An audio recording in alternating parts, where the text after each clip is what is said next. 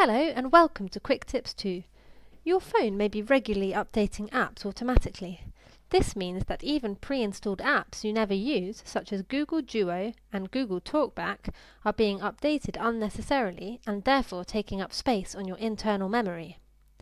Today I'm going to show you how to uninstall these updates and how to stop automatic app updates on your phone.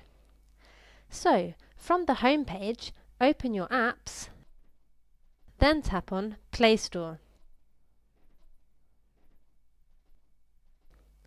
Search for Google in the search box.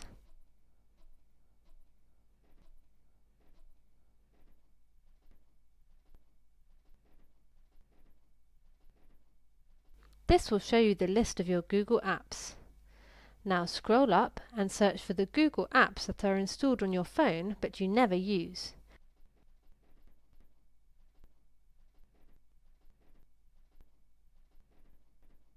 For example, I never use Google Duo, so I'll tap on it,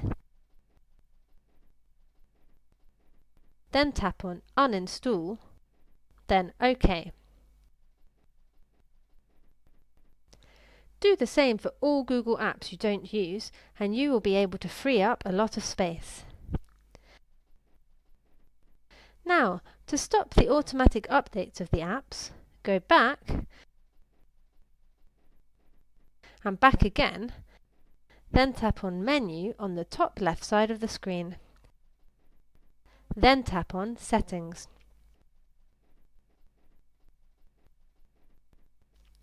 Tap on Auto Update Apps, then choose Do Not Auto Update Apps. By doing this, your phone will never auto update your apps.